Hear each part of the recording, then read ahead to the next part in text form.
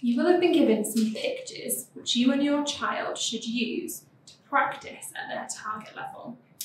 Their target could be saying the sound on its own, saying the sound next to a vowel, saying the sound in a word, in a phrase, or in a sentence. It's helpful to practice the targets whilst playing a game. So here are some ideas for games you can play at home with your child. You can cut out the pictures that you've been given and hide them around the room or around the house, so your child has to go looking for the pictures and say it every time they find one.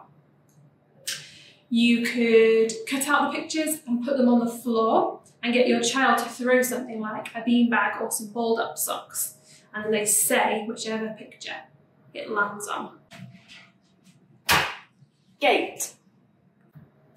You could give your child a block or a Lego brick each time they say one of the pictures so they can build a tall tower. I found a gate. I found a ghost. I found a goat. You can make another copy of the pictures, turn them all upside down and play a pairs game. So you say the words every time you make a matching pair. Gate. Gate. Two gates. You could play any board game or turn taking game that your child really enjoys and say one of the pictures each time you take a turn. The ghost is scary.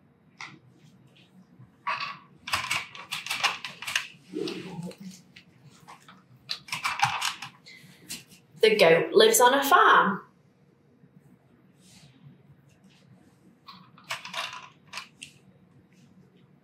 I open the gate. Another game that's good to play that we might have given you with your programme is the Witches and Wizards game. So for this game, you put one of the pictures underneath all the Witches and Wizards cards face down and you take it in turns to turn a card over. You say the card, the picture card, and then you keep the witch or the wizard. Whoever has the most wizards at the end wins. Gate. I got a witch. Ghost.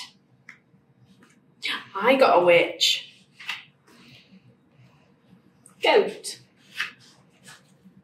I got a wizard. Three wizards. Two wizards. I'm the winner. Another game we might have given you is the monkey and bananas game. So for this game, similar, you turn them face down, you put a sound card underneath all the monkeys and bananas, and then you take it in turns to flip them over. If you get a banana, you get to keep it. If you get a monkey, you can steal the other person's bananas. So it's the person with the most bananas at the end who's the winner. I've got a banana. Gate.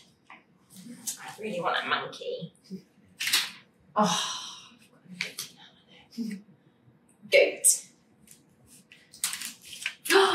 I've got a monkey. Oh no. So I can steal your banana. Ghost. It's important to remember that some children might not want to play a game. It might not be the best way to work for them. So instead, they might prefer to practice saying their sounds, words, or sentences for a very short time, about five minutes, and then you could follow this up with a game as a reward. Thanks for watching, and I hope this helps.